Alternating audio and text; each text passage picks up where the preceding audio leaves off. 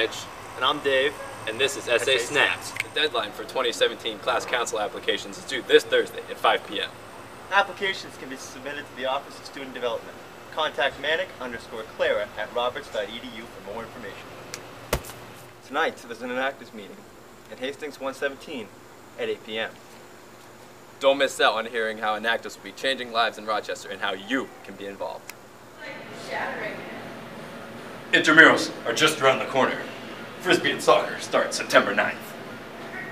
Rosters must include 10 people with at least three females. Email your rosters to intramurals at roberts.edu. They're due this Friday by September 6th. This Friday, there will be a women's soccer game versus Bloomfield College. Come to RWC Stadium to cheer on our Redhawks at 7 p.m. Woo! There will be fireworks at 9 p.m. after, best viewed from the turf. You're going down, Bloomfield!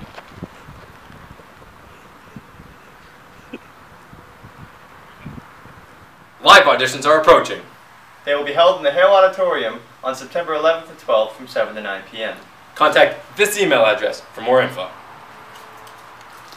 On behalf of all of us at SA Snaps, I'm Mitchell Juris, and you stay classy, robbers. And I'm Dave Donovan. Thanks for stopping by. But but stay classy, robbers. Thanks for stopping by. M- mostly stay classy, though.